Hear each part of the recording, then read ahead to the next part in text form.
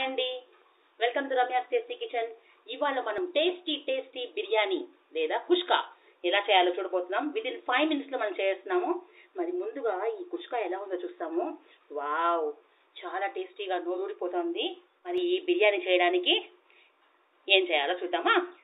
Cooker పెట్టుకున్నాము. కొద్దిగా oil పోసుకున్నాము. కొద్దిగా నెయ్యి వేస్తాను. ఈ ఆయిల్ కాగేప్పుడు కొద్దిగా హోమ్ మేడ్ బిర్యానీ మసాలా. ఇది మన హోమ్ మేడ్. ఇది డిస్క్రిప్షన్లో లింక్ పెడతాను. ఇది చూడండి ఒకసారి. మన ఛానల్లో ఆల్రెడీ వేసున్నాము. ఇది కొద్దిగా వేసుకుంటాము. బిర్యానీ టెక్స్చరే మారిపోతుంది. మనం ఈ మసాలా ఫస్ట్ ఆయిల్లో వేసుకోవడం వల్ల. ఈ మసాలా దినుసులు రెండు బేలీఫ్ రెండు లవంగాలు. ఇది స్టార్ అన్నది ఒకటేస్తే ఎక్కువైపోతుంది. ఎందుకంటే నేను కొద్దిగా రైస్ చేస్తున్నాను ఈరోజు. ఒకే ఒక పట్ట. ఇదన్నీ వేసేస్తున్నాను. ఒక ఫోర్ మెంబర్స్ చేస్తున్నాను. హాఫ్ కిలో రైస్ అనుకోండి. హాఫ్ కిలో రైస్కి మనకి కప్ ఆనియన్స్ ఒక పెద్ద ఆనియన్స్ ఒక ఫోర్. ఆనియన్స్ వేసిన తర్వాత కొద్దిగా ఉప్పేస్తాము ఆనియన్స్ వచ్చి దీనికి ఇలా కొంచెం కొంచెం పెద్ద పెద్దగా కట్ చేసుకోవాలి. అప్పుడే మనకి ఇది ప్లెయిన్ బిర్యానీ కదా ఇందులో ఏం మనకు వెజిటబుల్స్ ఉండదు. అప్పుడు ఇది బాగుంటుంది మనకి తినడానికి. కాబట్టి కొంచెం పెద్ద పెద్దగా కట్ చేసుకోవాలి. కొద్దిగా కలర్ మారనివ్వండి.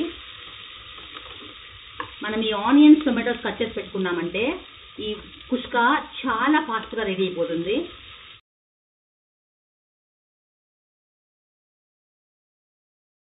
ఇప్పుడు చూడండి కొద్దిగా ఫ్రై అయింది. బ్రౌన్ అవ్వలేదు కానీ లైట్ గోల్డెన్ కలర్గా ఉంది. ఈ స్టేజ్లో మనకి చాలా ఇంపార్టెంట్ మన బిర్యానీ బాగా రావాలంటే ఈ ఎర్రగడ్డలు కరెక్ట్గా ఇలా ఫ్రై అయిందంటే మనకు చాలా బాగా టేస్టీగా ఉంటుంది బిర్యానీ. ఇప్పుడు ఈ స్టేజ్లో అల్లము తెల్లగడ్డ ఈక్వల్గా దాంతోపాటు ఒక ఆనియన్ కొత్తిమీర కాడలు కొంచెం. ఇది వేసుకున్న పేస్టు బాగా లావిష్గా ఒక టూ స్పూన్స్ వేస్తున్నాను. ఇది చాలా టేస్ట్ ఇస్తుంది మన బిర్యానీకి. ఈ మసాలా ఎక్కువ తక్కువలు అవి దాంతోనే మన బిర్యానీ టేస్ట్ మారేది. ఒకసారి చూడండి. మనం ఇలా మసాలా వేసి ఇలా కలిపినప్పుడు ఈ ఆనియన్స్ అన్నీ ఈ మసాలాలో డిప్ అయినట్టు ఉంది చూడండి. మసాలాకి ఆనియన్కి సరిగ్గా సరిపోయింది. ఎక్కువ మసాలా ఎక్కువ ఆనియన్. ఏది ఎక్కువ ఉండకూడదు. సరిగ్గా ఉండాలి. అప్పుడు మన బిర్యానీ టేస్టీగా వస్తుంది.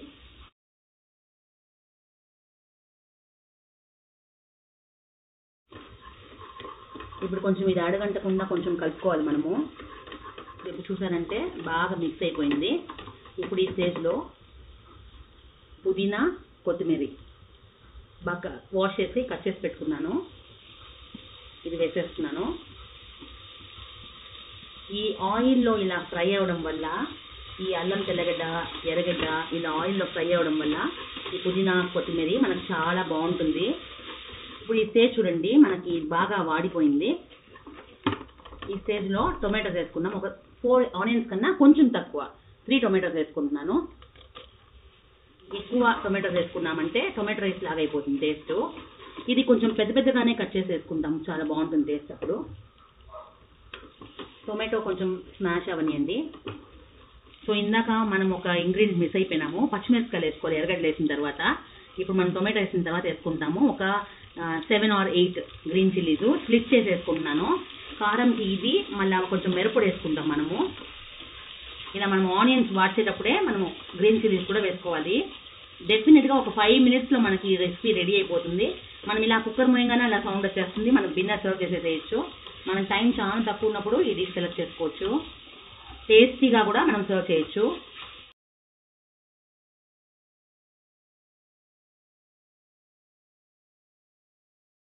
సరే మన టొమాటోస్ పెద్ద పెద్దగానే కనిపిస్తుంది.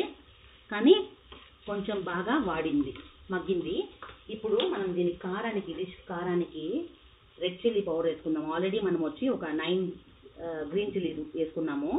స్ప్లిట్ చేసి వేసుకున్నాము హాఫ్ కిలో రైస్కి ఇది ఒక చిన్న స్పూన్లో ఒక one spoon red chilli powder plain red chilli powder వేసి ఒక టూ టైమ్స్ ఇలా నూనెలో మిక్స్ చేసి ఇప్పుడు ఈ స్టేజ్ చూసారంటే ఆయిల్ మీకు కనిపిస్తుంది చూడండి. ఇలా ఆయిల్ కరెక్ట్గా మనకు కక్కినట్టు ఇలా ఉండిందంటే మనకు రైస్కి సరిపోతుంది. ఇప్పుడు ఈ డ్ర- స్టేజ్లో డ్రైగా ఉన్నదంటే కొంచెం ఆయిల్ ఒక వేసుకోండి. లేకపోతే మనకు ఆయిల్ రైస్ డ్రై అయిపోతుంది. సో ఇలా ఈ స్టేజ్లో ఇప్పుడు మన ఇంకొక సీక్రెట్ ఇంగ్రీడియంట్ కర్డ్ గట్టి పెరుగు లేదా నార్మల్ మజ్జిగైనా వేసుకోవచ్చు. ఒక చిన్న గెరెట్తో ఒక టేబుల్ స్పూన్ అనుకోండి. వేస్తున్నాను. ఇది మనకి డిష్కి చాలా టేస్ట్ వస్తుంది. ఒకే ఒకసారి ఇలా మిక్స్ చేసి మనం వాటర్ పోసేసుకుంటాము. నేను జీరక రైస్ అంటారు కదా జీరా జీరక సంబా రైస్ అంటారు. ఆ చిన్న చిన్నగా ఉంటుంది కదా బిర్యానీ రైస్ అంటారు. దాన్ని వాడుతున్నాను. మీరు బాస్మతి రైస్ అయినా వాడుకోవచ్చు. ఒక టమ్లర్కి two tumblers water first water పోసేసుకుంటున్నాను.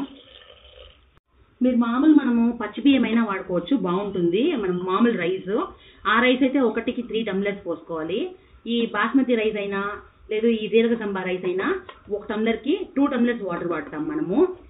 ఇప్పుడు ఈ వాటర్ పోసిన తర్వాత ఈ రైస్కి సరిపడా ఉప్పు. చూడండి తెలుసా ఉంది కదా? ఇప్పుడు మనము రైస్ వేసుకుందాము. ఇక్కడ ఏంటంటే మీకు కలర్ కావాలంటే మీ రైస్ కలర్గా కావాలంటే మీకు కొద్దిగా కలర్ వేసుకోవచ్చు. నేను అన్వాంటెడ్గా కలర్ ఎక్కువ వాడను. కాబట్టి నేను కలర్ వేయట్లేదు. ఇప్పుడు మనం ఈ రైస్ వేసేస్తున్నాము.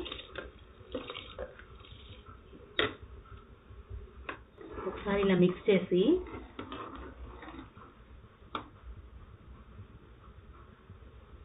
ఒక హాఫ్ స్పూన్ గీ కొంచెం పైకి వేసి మూత పెట్టి ఒక సౌండ్ అయితే సరిపోతుంది. ఈలోపు మనం రైతా రెడీ చేసుకుందాము. ఇప్పుడు మనం పెద్ద పెద్ద హోటల్స్కి వెళ్ళామంటే రైతా చాలా కమ్మగా బాగుంటుంది. ఇంకా కొద్దిగా తిందామా అని అనిపిస్తుంది. దానికి ఒక టిప్ చూడండి. ఇది మనం రైస్ చేసేటప్పుడే ఆనియన్స్ బాగా సన్నగా తరిగిన ఆనియన్స్. దీనికి సరిపడా పచ్చిమిర్చి ఒక రెండు మూడు ఒక చిన్న చిన్న పీసెస్ ఒక టూ త్రీ పీసెస్ టొమాటోస్ వేసుకున్నాను. కొత్తిమీర సన్నగా తరిగింది కొంచెం. ఉప్పు ఇది వేసి బాగా ఇలా మిక్స్ చేసి మిక్స్ చేసి మనం పెట్టేసుకోవాలి. సర్వింగ్ అప్పుడు మనం కర్డ్ మిక్స్ చేసి ఇవ్వాలి అది పులవకుండా కమ్మగా రైతా చాలా టేస్టీగా ఉంటుంది. ఇలా తప్పకుండా ట్రై చేయండి ఎప్పుడు రైతా చేసినా. మీకే డిఫరెన్స్ తెలుస్తుంది. రైస్ రెడీ అయిపోయింది. ఎలా ఉందో చూస్తాం.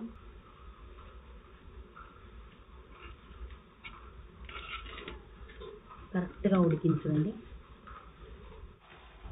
చాలా చాలా టేస్టీ రైస్ రెడీ అయిపోయింది.